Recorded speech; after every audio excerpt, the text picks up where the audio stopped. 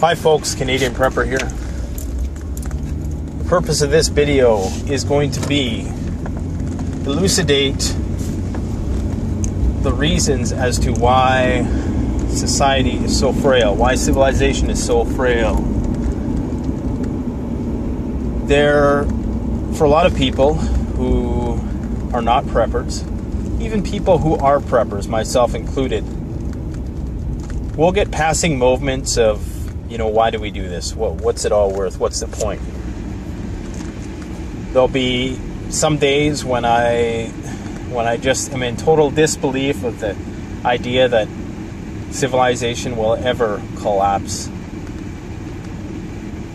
So I wanted to embark on an analysis of sorts. And as an example, I want to talk about one of the most base level, rudimentary inventions of mankind. I'm going to use this as a as a way to conceptualize how frail our society actually is by taking one of the most simplest things mankind has created, putting it under the microscope and seeing exactly what must be required for that thing to be made. And as an example, I want to use a paperclip. Possibly not the simplest, of things, but definitely ranks up there.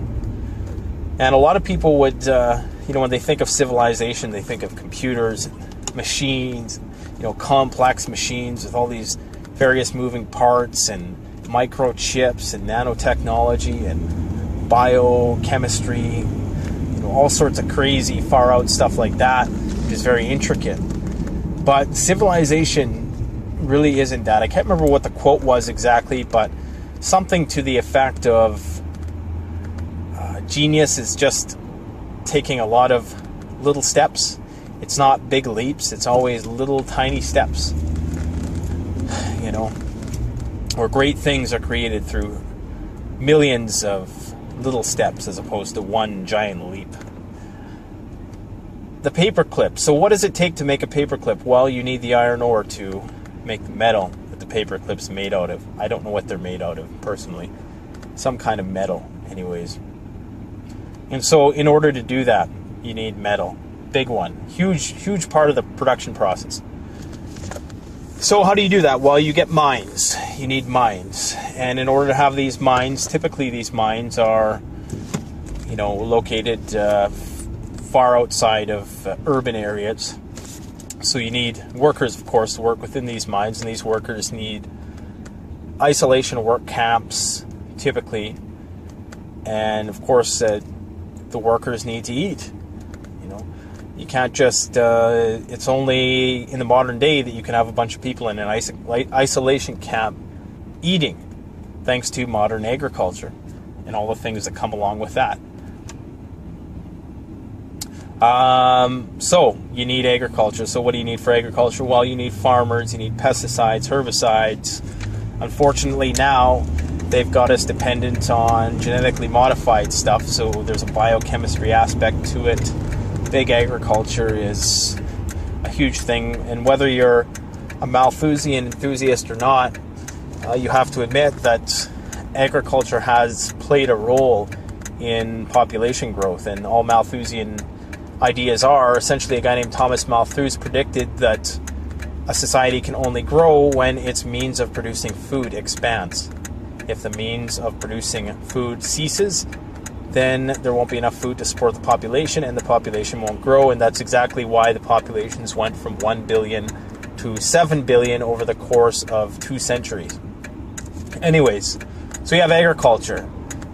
With agriculture, you need to manufacture the machines that collect this food because the only way the miners can have food that's affordable is if these machines that run on gasoline that I'll get to next uh, can you know run and combine harvest this food. So they harvest that food and that food gets shipped in trucks to the miners.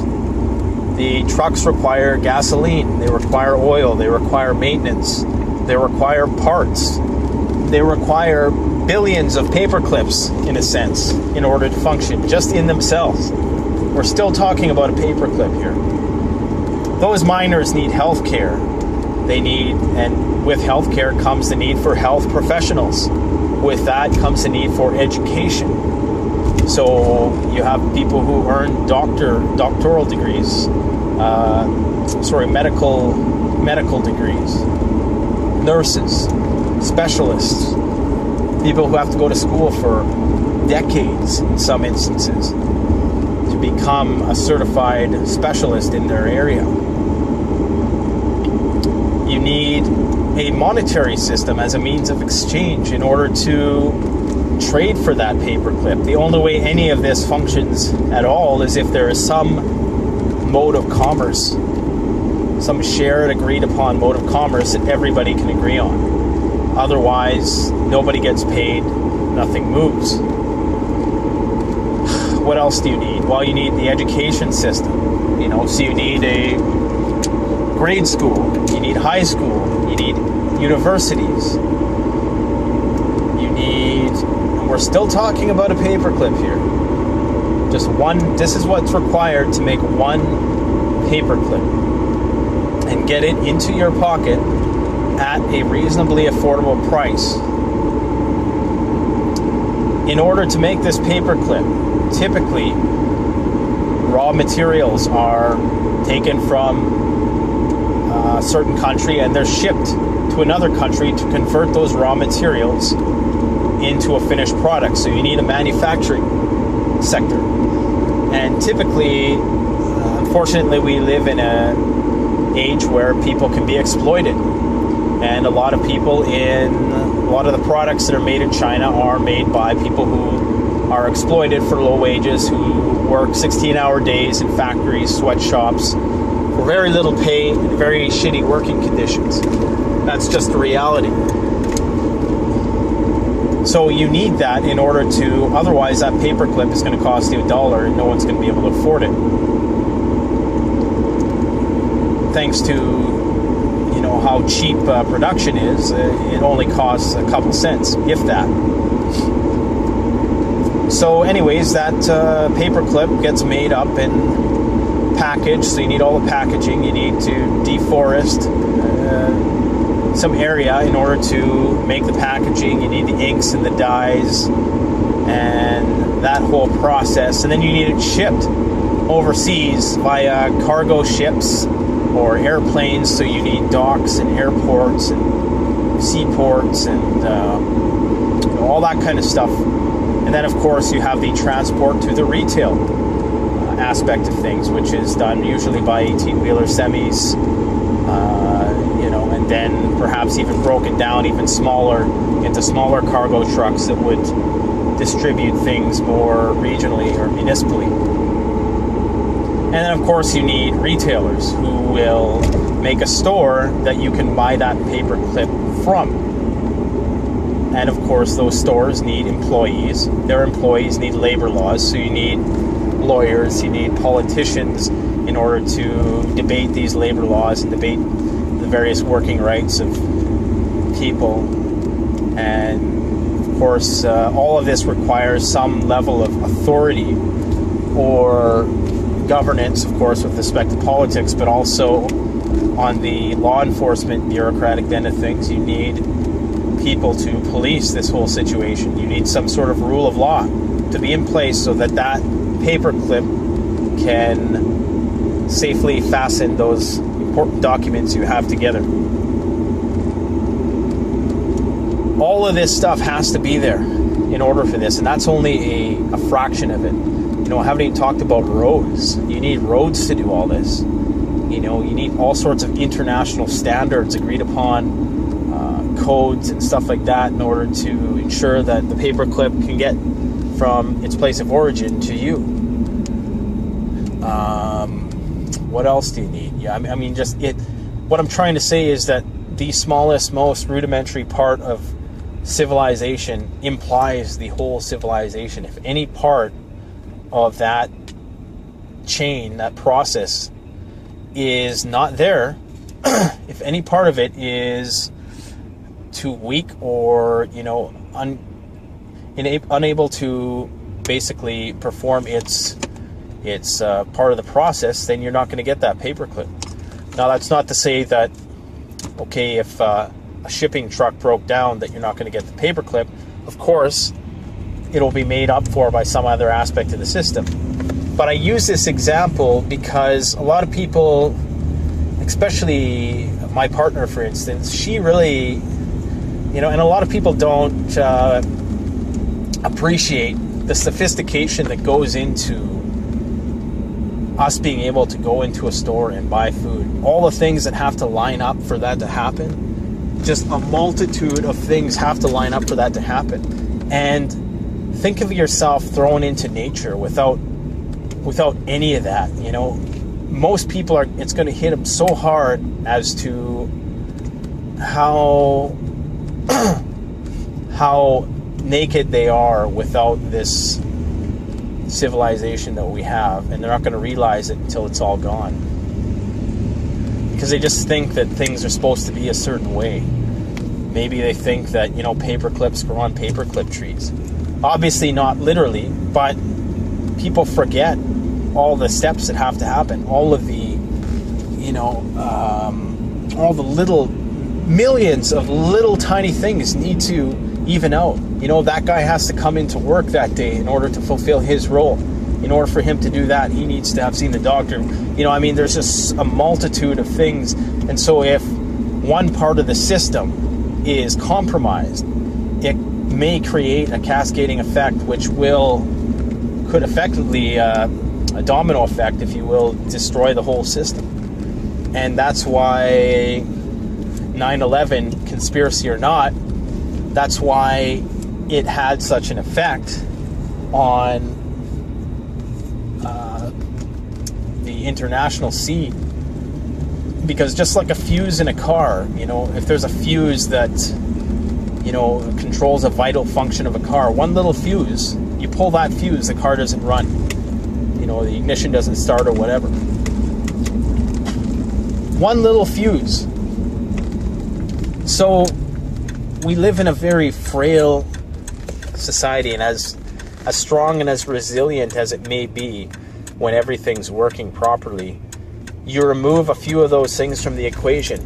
You know, let's say there's a pandemic, 10% of people don't show up to work.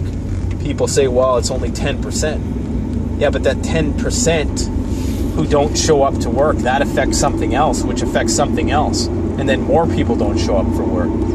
You know, so it starts out, something that starts out small can have a snowballing exponential effect. We live in a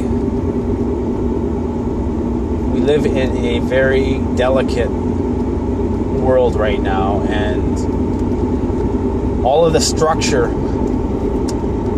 that it requires needs to be there in order for us to wake up every morning and live out our day as we have it planned today. just think about if you had to go in the wilderness, you know. Um, could you could you make a paperclip from raw materials? You know, just trying to get people thinking about. You couldn't, you know. Yeah, some bushcrafters probably could design something, but never anything that's as effective as that one little paperclip. Never gonna find it in nature and you could get some pine woods, some uh, some spruce pitch, some sinew from an animal. Make yourself uh, a bow,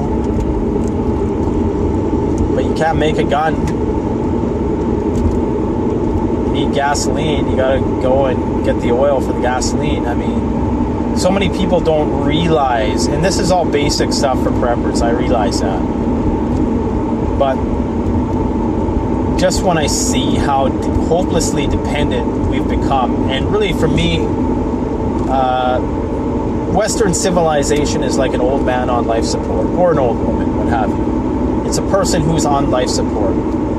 Because if any part of this system is compromised, we can't live, we can't eat. The stores, I know it seems like there's a lot of food in the stores, and this is the this is the deception is that you go into a Costco or Walmart.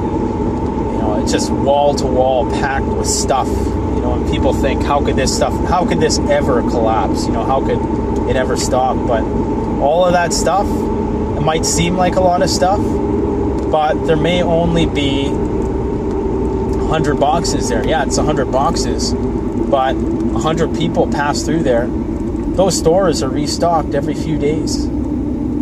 Every few days, most major retailers are restocked front to back.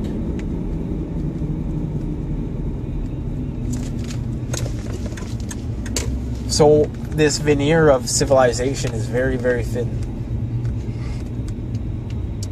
And when I see built people building houses out in the suburbs, you know, and planning and spending $500,000 on these houses, you know, do what you want, but you could at least spend 20,000 and outfit it with some sort of solar power, uh, maybe some geothermal options, something like that, something to make it remotely self-sufficient.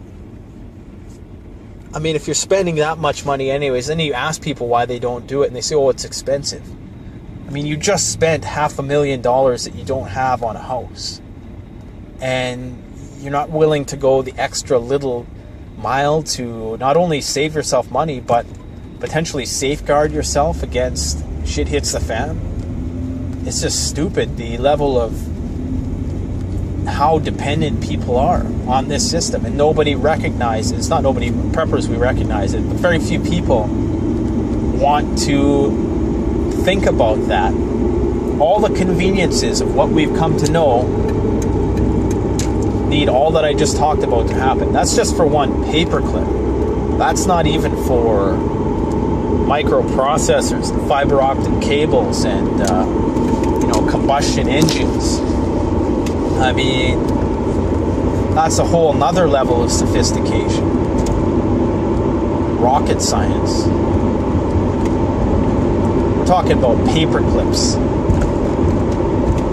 Most people will not know how to fasten two pieces of paper together when shit hits the fan. I think a lot of people in the back of their minds entertain the delusion that the stores are still going to be open. I think I seen it on uh, uh, a TV show called Survivors, the older one, the one from the 70s. There's a remake also that I did a review on, but the older one. And one of the girls, you know, shit has hit the fan, and the girl said, the guy said, "Oh, we're going to run out of this particular. I can't remember what it was. This particular uh, stuff." And she said, "Oh, well, we can just go to the store." And the guy's like, "No, you don't realize it." there is no more store. You know, nothing is going to be manufactured from raw materials anymore.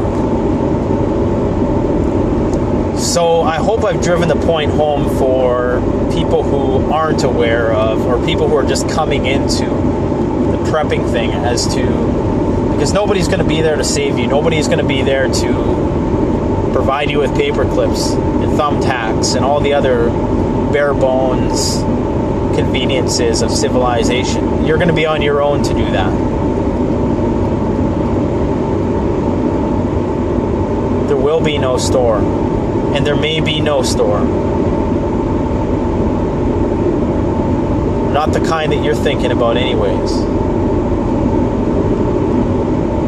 We may well enter some post consumer scavenging off the remnants of the old world type society where it's back to reset, it's back to zero.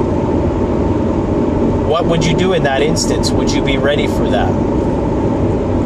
Lots of people will say you can't be ready for that. Maybe you can't. Maybe you can only prepare so much stuff. Maybe you can only have so many skills.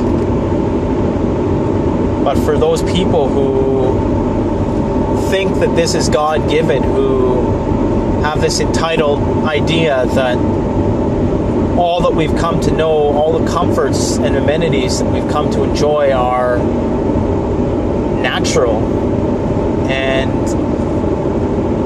are just always going to be there and should be there. Should is the big question. You're living a pipe dream, man. So, anyways, that's all I got to say about this issue. Let me know what you think about this issue. Thanks for watching, Canadian Prepper